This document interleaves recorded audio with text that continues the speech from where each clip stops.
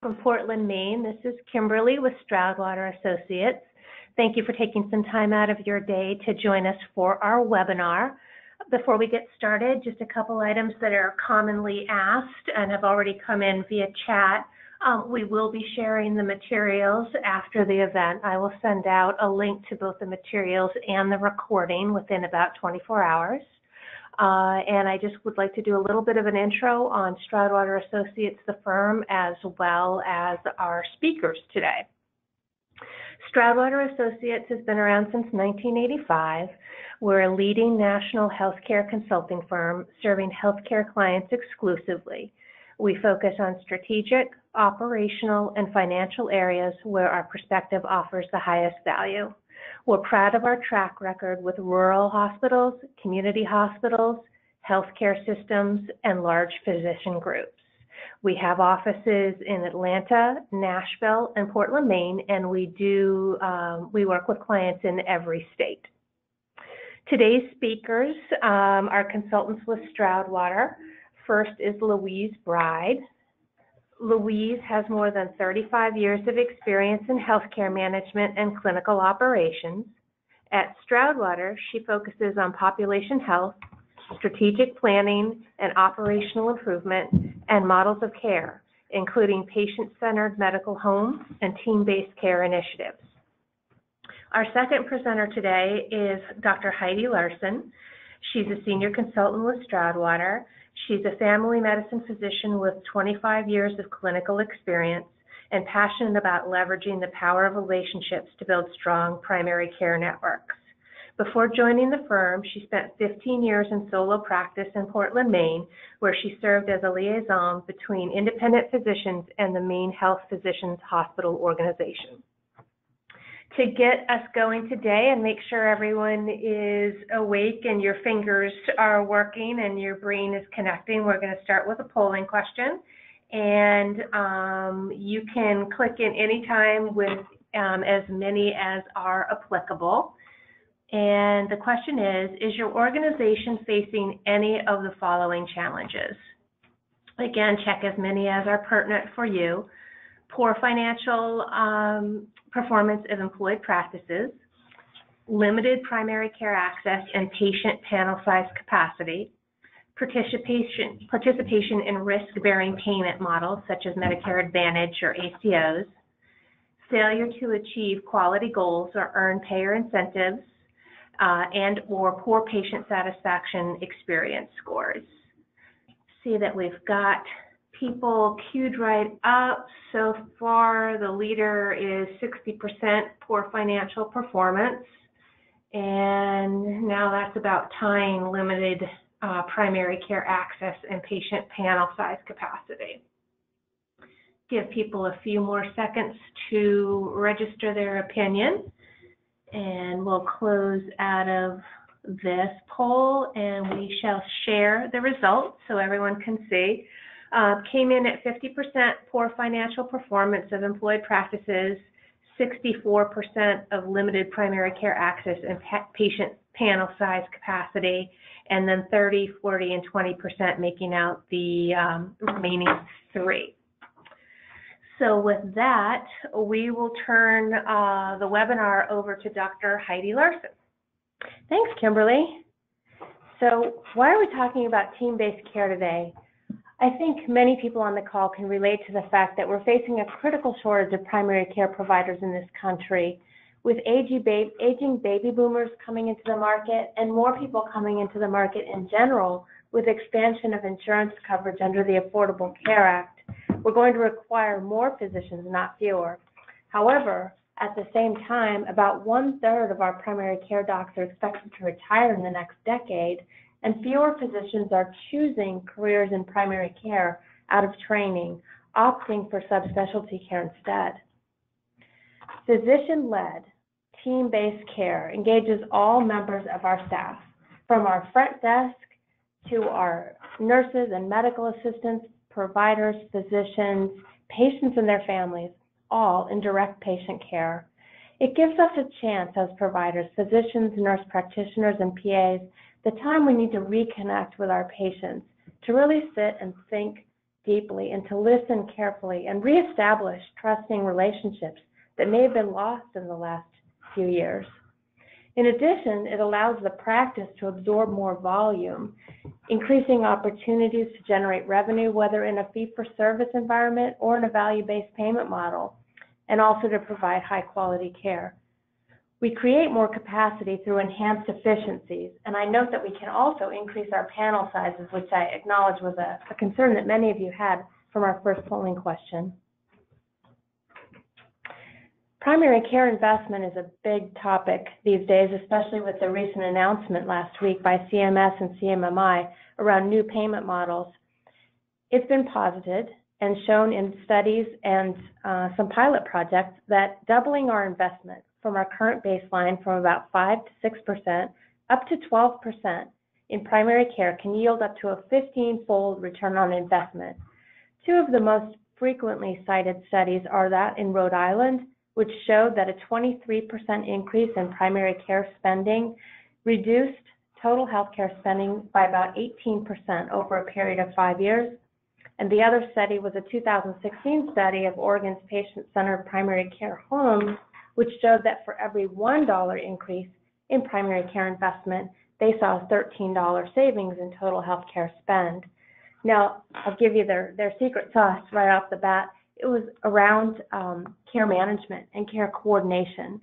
And the savings were mostly achieved through inpatient spend, specialty care, and emergency department utilization.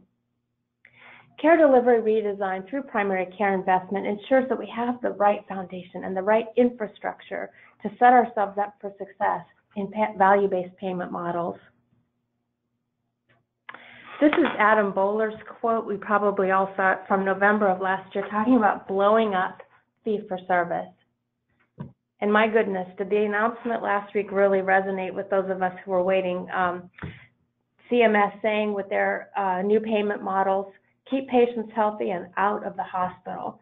Did you know that the primary quality measure that they'll be uh, judging our success by is acute inpatient hospitalization? That's it. Now, like you, I'm probably we're expecting to see more quality metrics introduced into the mix, but that's it. The goal is to keep patients out of the hospital. We're going to provide payers with pay for outcomes rather than procedures and incentivize days at home as well as, quality of care, freeing doctors to focus on the patients in front of them and reducing regulatory and administrative burdens. The primary care first payment structure is sort of the gateway into these new value-based payment models. It involves a couple of different types of payments. The first is a risk-adjusted population payment per beneficiary per month. Now, this is going to be based on HCC scores. The risk adjustment comes from the HCC scores that we document, and we'll talk about that a little bit more later in this deck. There's also a flat primary care visit fee per face-to-face encounter, and then a performance-based incentive payment, as I said, which is based on acute hospital, uh, hospital utilization. We're on an unsustainable path. These are hospital margins over time, and you can see over the last few years that we are definitely under assault. A lot of health systems are struggling with provider burnout, recruitment, retention, and engagement. CEOs, we know you're frustrated with practices that are inefficient and financially unsustainable and wary of subsidizing primary care practices. We want to be able to help you address these issues without alienating the medical staff. This is Stroudwater's transition framework. Don't worry, I'm not going to go through each and every box, but I want us to look at this from a 30,000 foot view the top three rows represent delivery system transformation, and the bottom three, payment system transformation. On the left column is pure fee for service, and on the right, complete risk-based payment model. You can see that in the spine of this model, right front and center in the first row, that's where PCMH and team-based care models sit. So what we're talking about today truly is the foundation to be able to move towards value-based payment models. What is team-based primary care? Team-based care, by definition, involves a restructuring of clinical workflows within the constraints of established teams. enhancing practice efficiency and improving engagement across the entire team.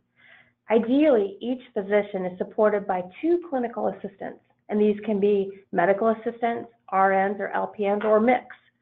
Using two exam rooms side by side, which we'll show you schematically later on, that maximizes workflows and helps us to become more efficient. This model is strongly supported by the American Academy of Family Physicians and the AMA, and I'll show you some of the resources at the end of the deck that actually have libraries to help you implement these models. What are the benefits of team-based care? Well, as I've alluded, it reduces the total cost of care for the organization, helps reduce our readmissions penalties, and helps us to achieve shared savings and incentive payments, whether we're in risk-based contracting with our commercial payers or Medicare Advantage, ACOs, or entering into some of these agreements that are proposed with CMS and CMMI. Reduces sources of conflict when engaging the practices around improving performance. We all know that change is hard. This is one way to help people engage around change in a way that's a little bit less hard. Hopefully, it's, it represents all of us working together. It promotes long-term financial sustainability of primary care practices. Doesn't that sound good? Reducing physician turnover and burnout is a big deal. As you know, especially those of you in rural areas, costs a lot in terms of time and money and effort when a physician turns over, especially someone in primary care. We want to enhance patient engagement because that's really the key to promoting better clinical outcomes. Returning the joy to practice of medicine is really essential for all of us, and it's the fourth arm of the quadruple aim. We want to increase panel size and visit capacity, as many of you indicated in your answers to the first polling question. And of course, prepare for success in all value-based payment models. All right, thank you, Heidi. We will uh, move on to our second polling question of the webinar. Have any of your primary care practices implemented team-based care? And if they have, are the teams co-located? You can select no, we have not implemented a team-based care model. Yes, we do have a team-based care model, but the teams are not co-located. And yes, we have a team-based care model and the teams are co-located. So, so far it looks like the vast majority do not have any version of team-based care so far. Give people a few moments to put aside their Diet Coke and their sandwich and click in. About 78% now reporting that they do not have any form of a team-based care model. And we're going to close out the poll and show you all the results. 79% do not have a team-based care model. Um, yes, uh, 11% do have a model, but it's not co-located teams. And um, 11% have team-based care and have teams that are co-located. All right, I believe we are moving on to Louise Bride for the next section. Thanks, Kimberly, and good afternoon, everyone. So now we'd like to do a little bit of a deeper dive related to the model itself.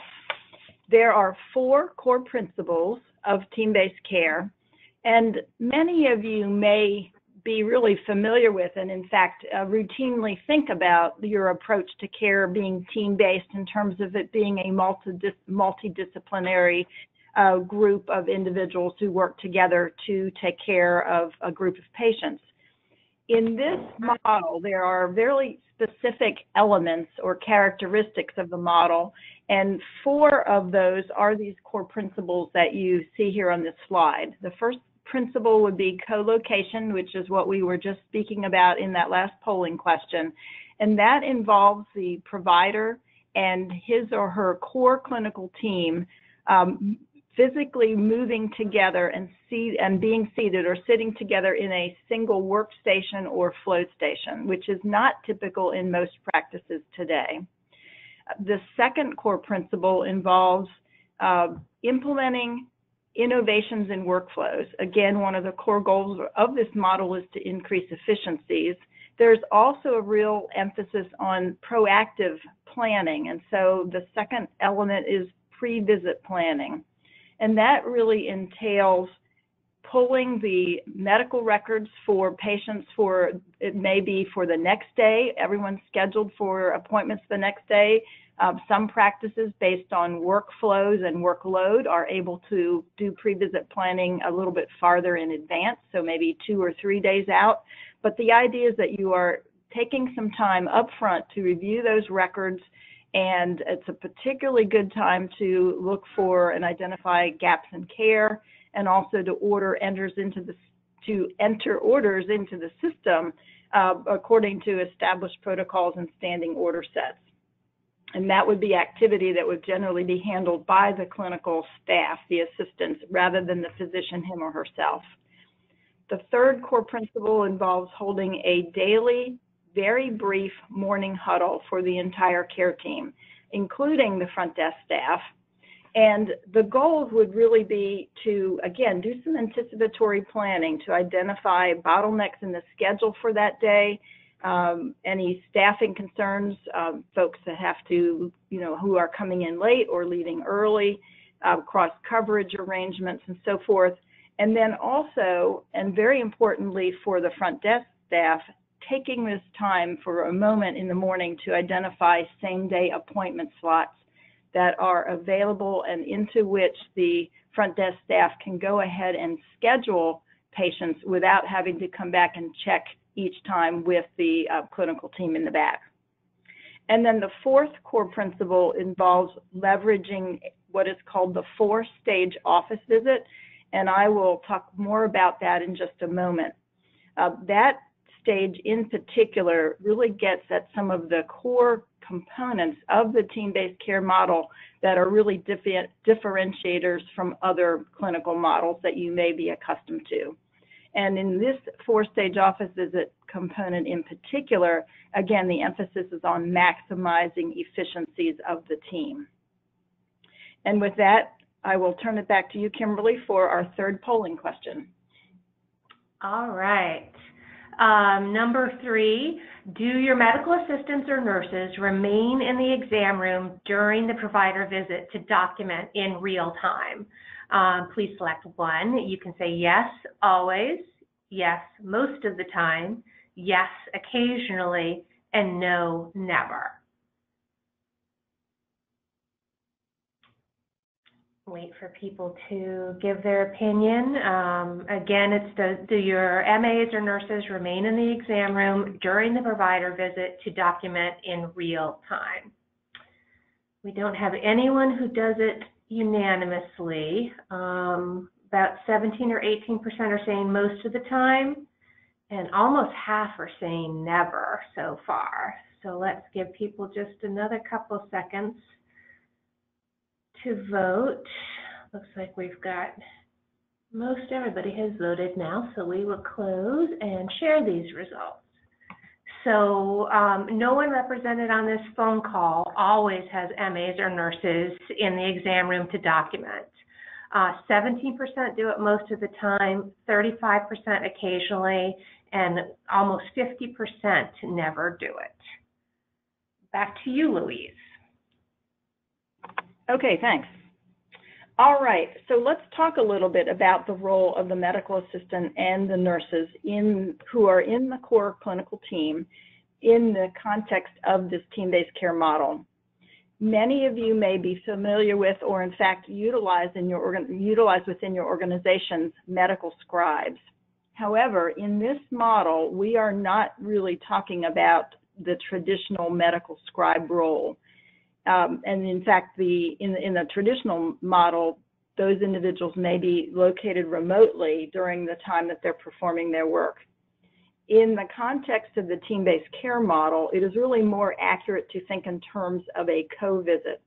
And I'll say more about that in just a moment. But in that co-visit, really the nurses or the medical assistants who are working with the physician, working with the provider, have a bit of an expanded role and are involved in managing preventive care, updating chronic illness management, uh, information in the medical record, and so forth. So that's really where the co-visit component comes in and becomes important.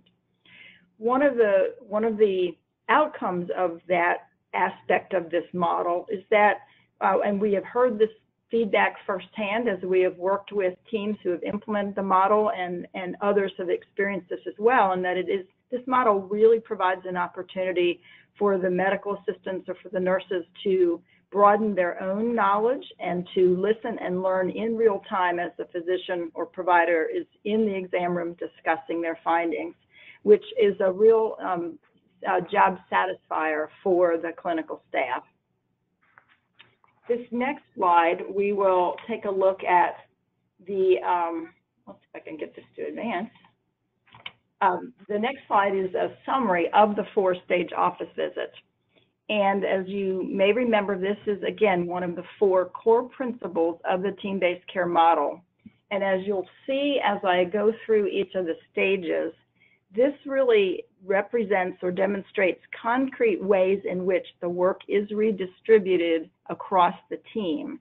Again, going back to that definition of the team-based care model that Heidi shared earlier in the presentation, um, redistribution of the work and more fully engaging and involving all the members of the team are, are core concepts of this model, and you'll see that um, as, as uh, you'll see that demonstrated as we go through the four stages.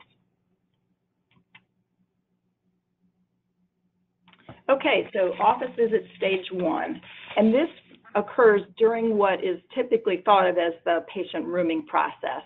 So the, the patient rooming process would proceed as, as usual, but with some expanded activities performed, again, by the medical assistant or the nurse who is assisting that provider for that, for that schedule, for that day.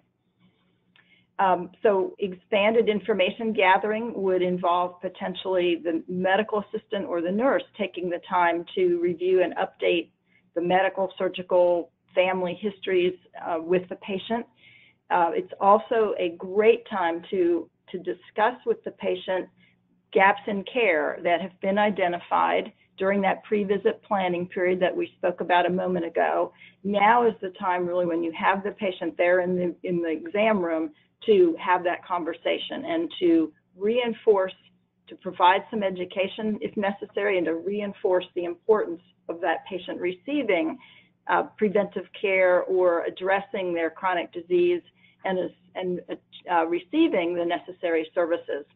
And then for the, the clinical assistant to proceed with actually ordering those things as necessary, again, utilizing established protocols and standing orders so that all that can take place during this first stage of the office visit. In stage two, really stages two and three um, are, are occurring, uh, one flowing really into the next, one stage flowing into the next. Because at stage two is the point at which the physician or the provider enters the room. Unlike the typical experience, and it was borne out uh, among among all of you all participating today. Typically, at this point, physician or provider comes in, the medical assistant or the nurse leaves leaves the exam room. In this model, the medical assistant or the nurse remains in the exam room, is seated at the computer, and is then providing documentation or performing documentation in the electronic health record in real time while the physician or provider is examining and speaking with the patient. So this is really where that co-visit that I spoke about a moment ago, this is where and when the co-visit takes place. And it is a key differentiator for this model.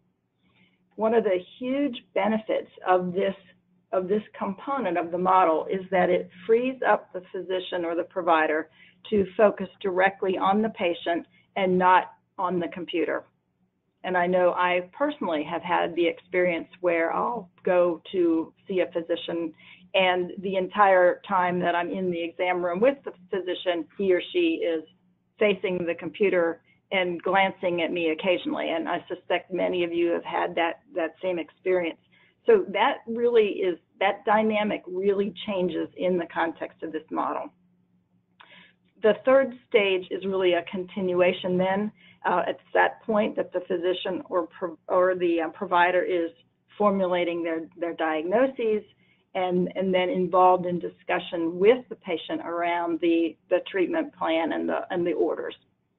And during that period of time, the medical assistant or the nurse has remained in the room and continues to do real-time documentation. It's a we we find and we we observe and others have uh, demonstrated as well that again one of the real benefits of this model is that by utilizing that clinical assistant to perform real-time clinical doc documentation there is increased completeness and accuracy of the documentation. We have had physicians uh, report that directly to us as they have uh, been involved in implementing this model. And it also provides an opportunity for that assistant to update the patient's problem list where that is indicated and to document or update the HCC scores, which are really important in terms of capturing and documenting the level of complexity of those patients becomes increasingly important in a, in a value-based reimbursement environment, as, as Heidi has mentioned. Again, this is the time when that intentionally can be, uh, can be accomplished. And moving on to stage four, uh, at this point, the physician or the provider is uh, ready to leave the exam room, exits the exam room, which then gives that provider an opportunity to uh, reflect for a moment, to review and sign the documentation, review the orders, and ensure that they have formulated um, a treatment plan that, that they think is what will be appropriate for that patient at that point in time. While the provider is outside the exam room doing, doing that work, the clinical assistant has remained in the room with the patient to complete the patient's office visit. And uh, that's the opportunity then for the assistant to spend a moment reviewing the orders that the physician has, uh, has given or to review instructions, changes in the treatment plan, um, what have you. Um, that is the time then to, for the assistant to review all that with the patient. At that time, then the patient would move on either to their next stop in the, um, in the, within the practice or would be prepared to leave and the um, provider moves on to the next patient who is ready. Uh, the, the second clinical assistant has really started the cycle all over again by performing stage one and having the next patient ready. And the clinical assistant is who is leaving the exam room from this patient is ready to move on to their next patient or to use that time to um, check messages and, and what have you. So it becomes then a continuously repeating process. And with that, I think we are ready for our fourth and final polling question. So I will give it back to you, Kimberly. All right, Louise, uh, let me put this out live. Um, are your primary care practices experiencing any capacity or appointment access challenges? No, no access problems at all. Yes, a few access problems, moderate access problems, or significant access problems. Uh, let's see how we're tracking so far. Um, the lowest seems to be about six or seven percent saying they don't have any access problems. About 47% right now say they have moderate access problems. And a concerning amount at 16% say significant access problems right now. Give people a couple more seconds to put in their vote and then we will tabulate and share with everyone. Closing out of this and sharing the results.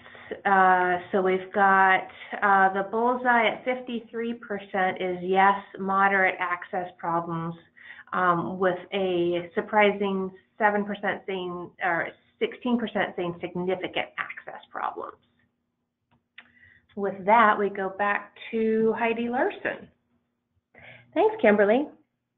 Now I want to share with you a schematic overview that kind of shows you in a different way what this, what uh, Louise has just presented to you. This is from real patient data, incidentally. We like to do uh, a baseline assessment of your practice's financial, operational, and quality performance data before we start. So with this practice, we were looking specifically at visit capacity and productivity. Where it says current model was where their current appointments were set up every 30 minutes, and you notice eight spots available every session, so eight in the morning, eight in the afternoon. The average fill rate was 5.6. So 5.6 out of the eight were filled on average per half-day session. If you move over with me to the next column under proposed model, that's how we set it up in their team-based care implementation. Two rooms, side by side, two clinical assistants, physician going back and forth between the two rooms. So if you look at the capacity, what does that do?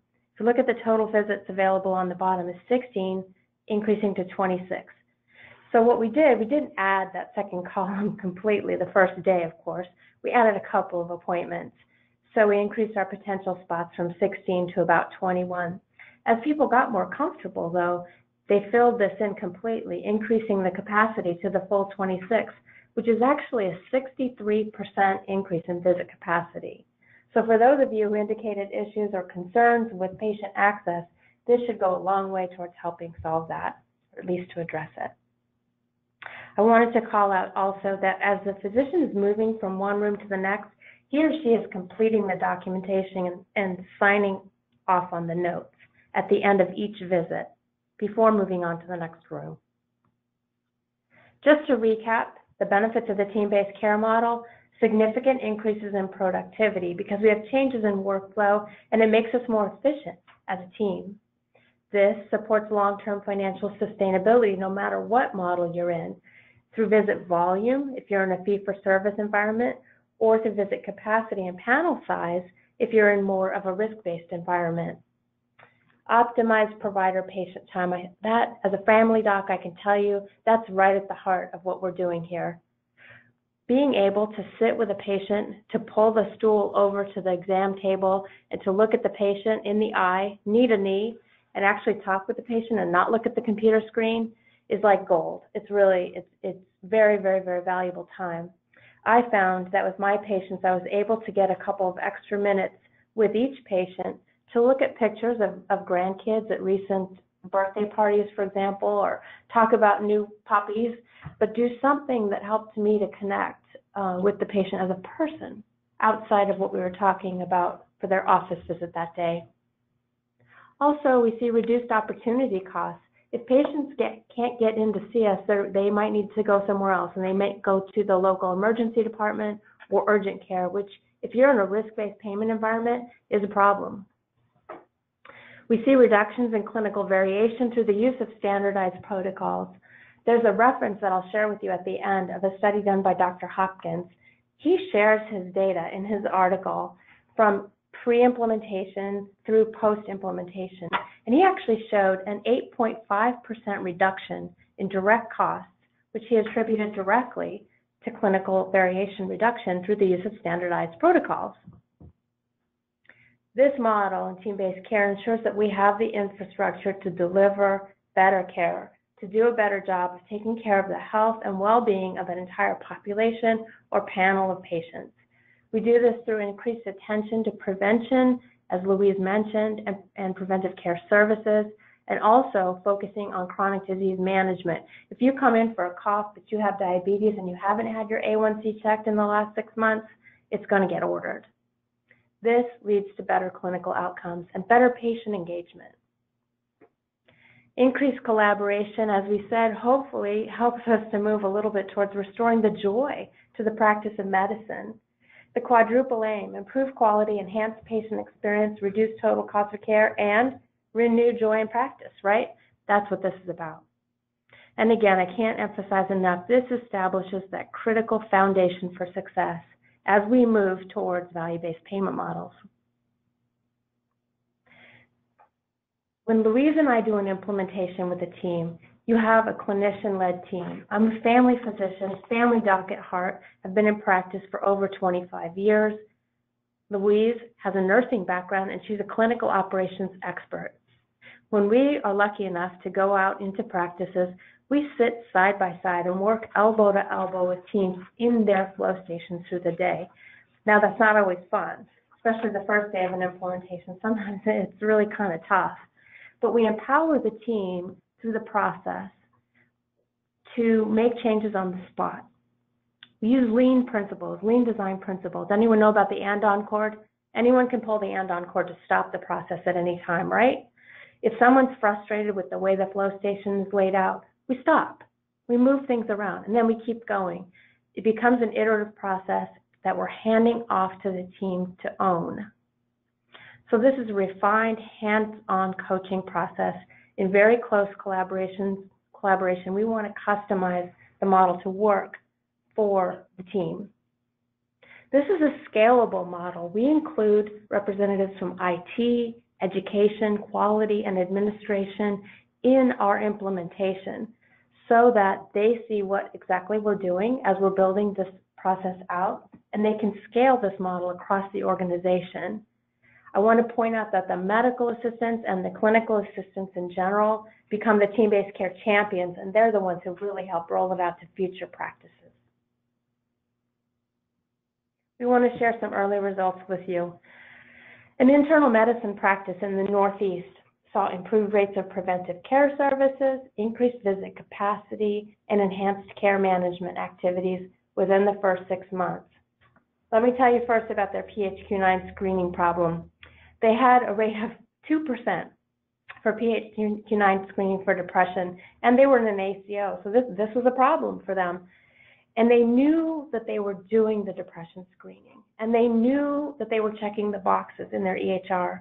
But what it took was sitting down on the first day of implementation with IT present to see which boxes we were clicking. And you know what? They were actually entering this data into 10 different places in their EHR, but only one of them counted for the quality metric. So if they missed that one spot, as they often did apparently with a baseline of 2%, it wasn't counting. So what we did was we moved the process out to the front desk. We decided that this was really a non-clinical task and we asked the front desk to take it on. They implemented universal PHQ-9 screening for all our patients who were coming in and they recorded it in the single spot where it counted and the team could then see the results at the time of the visit. They increased their screening from a baseline of 2% to 40% in just three months. This team leveraged their pre-visit planning and their morning huddle process to increase their patient same-day visit access. They had a real concern about patient access when we started, and they were able to increase their visit volume from 90% of capacity to 124% in just six months. They did this, as I mentioned, by adding just one to two patients per half-day session to start so that it was manageable for the team. One of their biggest home runs, I think, was incorporating their RN care manager into their core team at their flow station. She was in the same building, but not anywhere where she could be in direct communication with the team. So she came in and attended our pre-visit planning session and she created a system for flagging patients in the EHR with whom she had had telephone contact, but with whom she wanted to meet in person. So she was able to come into the exam room at the end of the physician visit and meet personally with patients who required some extra support, strengthening her own rapport and developing her own personal relationships with our complex patients. I want to tell you about one patient in particular. She was probably in her 70s or 80s. She was a retired nurse on four liters of oxygen and a medication list as long as your arm for chronic COPD. And she was grouchy. She was just really grouchy. She was frustrated. She was going to the emergency department several times a month for exacerbations and still just not quite where she wanted to be. This nurse care manager met with her and gave her her card. It was so simple, but she gave her her direct line and asked her to call her next time she had an exacerbation, inviting her to reach out to the team to problem solve with her directly instead of having to go through the ED. And the patient left with a smile on her face, I might add. Another interesting story out of Nebraska. We were there on site for an implementation, and I was told by the CEO, please don't talk to the front desk. Don't look at them.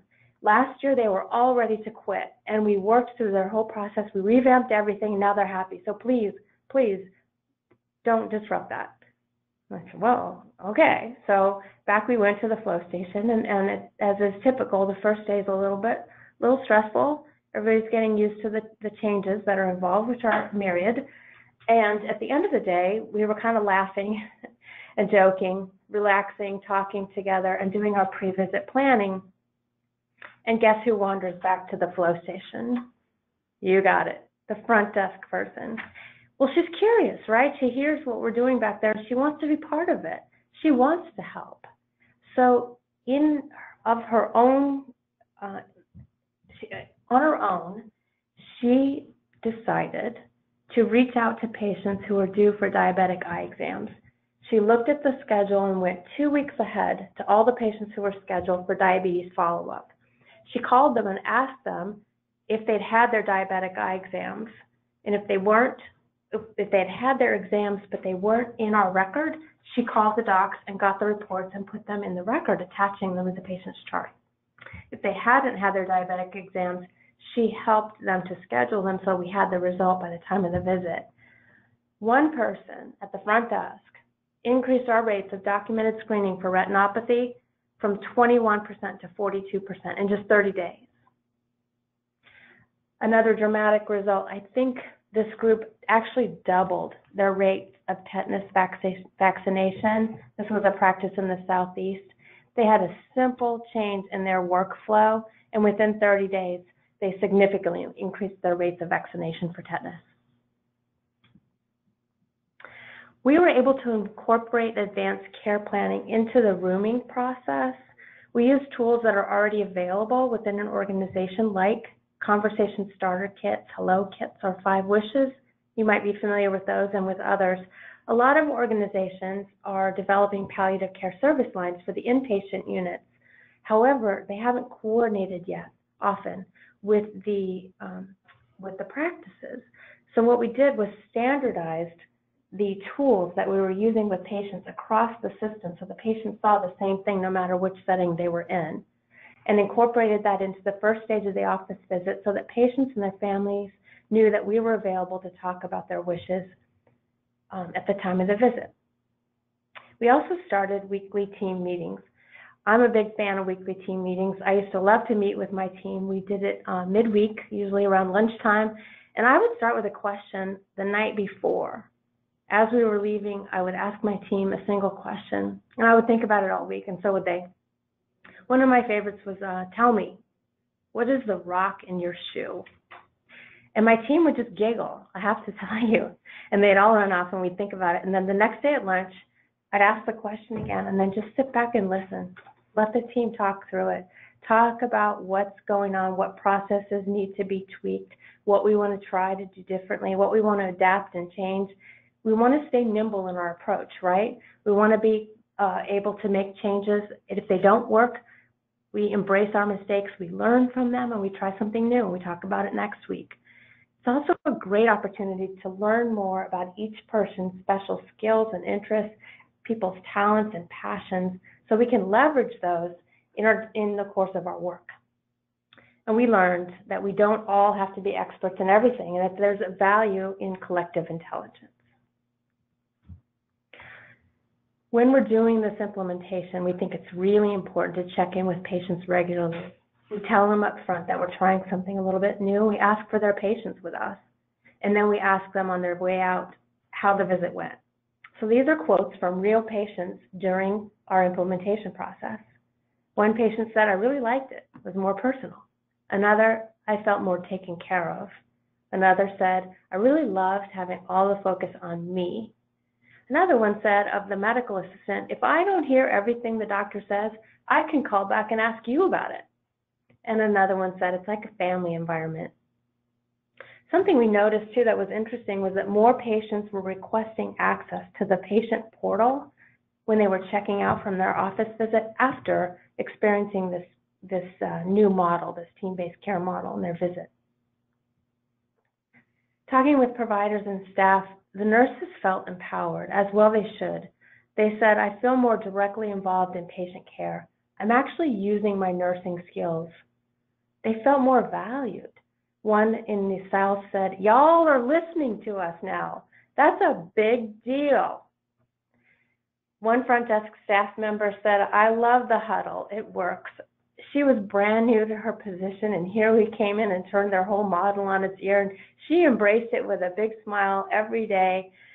She was she really hung in there, but having those spots opened to her in the course of the morning huddle, spots where she could just give them straight to patients who called and wanted to be seen, empowered her and made her really feel part of the process, and she felt really good about it. One physician commented that she used to finish her documentation in her pajamas after her kids went to bed. We talk about that as pajama time, right? But she said that this model had changed her life.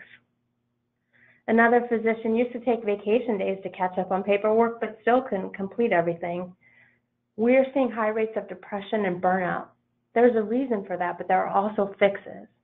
This is one of those fixes. I mentioned these resources. We changed it from references to resources at the suggestion of a client, actually, and I really want to make sure that, that you understand the wealth of information that's in this list. If you look at the third bullet, the AMA Steps Forward Guide to Implementing Team-Based Care, that's an entire library that you can look at with lots of different ideas and small steps that you can take towards implementing a team-based model of care. The article I referred to with before and after data is the fourth one by Dr. Hopkins. And take a look at some of the other references too. They're all really rich resources for you to use as you think about moving to a new model. Back to Kimberly. All right. Thank you, Dr. Larson. Um, we had a few questions come in over the course of the webinar via chat. Uh, the first one I'd like to put out there is how long does it take to implement uh, this version of team-based care? Heidi, do you want to take that one? Yeah, sure, I'll take that. Um, as I mentioned, we begin with a baseline assessment of your practice's financial, operational, and quality performance data, and then we present it to the entire group, including administration, IT, education, uh, quality members, like as I said before, in the form of a kickoff day. And we use that kickoff day also as a training session so people have time to play around in the EHR to make sure that the windows that I'm seeing match the windows that my assistant is seeing. Pretty important, right? So we're literally on the same page. So that's one day. And then there's two days for a phase one implementation in which we really get down the nuts and bolts of that, the four core principles of team-based care, co-location, pre-visit planning, the daily huddle, and the four-stage office visit. Then we come back about a month later and help you, what I call put gas in the car, implementing things like advanced care planning, pain management and opioid management, MAT if you have it, those sorts of processes that all can be leveraged very powerfully in a team-based model of care. Did I answer that okay? Kimberly? Pretty comprehensive I tried. for the non-clinical person in the room. um, I have another question. Um, it seems like there's some commonality and overlap with uh, patient-centered medical home and team-based care. Um, can you help this attendee understand the differences? Who would that be best for? Louise? I'll, I'll, um, I'll take that one. Thanks, Kimberly. Okay. Uh, so, so yes, that's a great question, and I think um, many of you may be familiar with the patient-centered medical home model of care.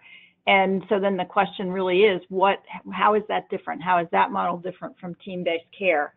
Uh, I think it's really important for me to say first that there are some really, um, there are several major common elements between the two models both really focus on the patient at the center of care delivery. Uh, hopefully, you have heard that from us today in the context of team based care. And that's obviously also clearly a, a major element of the patient centered medical home. Utilizing the full team, having everyone work at the top of their license or the top of their qualifications, the, that would be a common element. The daily huddle is another common element. And very importantly, both focus on the practices performing and providing comprehensive uh, proactive care and care coordination for their patients. There are also a couple of really key differences between the two models, and, and we've really tried to focus on those in our presentation today in terms of um, how the team-based care model is different. Co-location is one of those, and there are many of you in the audience today, you may actually be already doing the patient-centered medical home Um, and some of these elements have, may have sounded familiar to you, but you've also indicated to us that uh, by and large, you're not doing the co-location. Um, and so that is a core principle of team-based care. We, we believe and we observe and experience that that really is a way to increase coordination and collaboration among the team members and to have that real-time interaction with the physicians or providers. That's not typically the case in the PCMH model. The other key difference that we've talked about today is that this model, the team-based care model, really does focus more specifically on the redistribution of work across the members of the team and, and, on, and on increasing workflow efficiencies within the practice. Uh, again, that's not really called out and not an area of emphasis in the PCMH model. Um, and then, and in particular, and again, this has really been borne out by the polling results today, that that idea of the that that uh, concept of the co-visit with the medical assistant or the nurse, you know, routinely staying in the exam room and documenting in real time, that is a foundational element of the team-based care model and is not um, a focus of the PCMH model one way or the other. I will say that we do believe that, that the two models are very complementary and can be combined. So if you have a practice or you have practices in your organization that have already implemented PCMH, that does not preclude you from now adding in the team-based care model. It is a way to really have added value of the by combining and integrating the models. And as we, I think, have already mentioned, both Heidi and I have experience working with both models and we would be happy to discuss that scenario with any of you um, further offline if, if that would be of interest or of help to you. Thank you, Louise. Um, looks like we have one last question to bring us to the close of the webinar today. Um, change is, is difficult. Humans are wired to resist change. Um, since you're embedded with these practices and you see it right firsthand, what are the biggest challenges in, in making the change to team-based care? Heidi, do you want to you want to take that away? You want to kick that off? Uh, sure, sure. Um, change is hard. This is a lot. A lot of this is about change management. Um, I think staffing has has been a concern of some organizations that we've worked with. This model is designed to leverage everyone who's in your team without having to add people. As I said, it's a, uh, it's a change in workflow within the constraints of an established team. Some, however, have found that they do require more medical assistants, and medical assistants who are prepared a little bit differently. One of our clients calls this the enhanced MA model. Um, so that's one piece. And I think the other piece is really working with IT and having that training in the electronic record to be able to move in a facile way from one screen to another in the course of the office visit while we're in the room with the patient.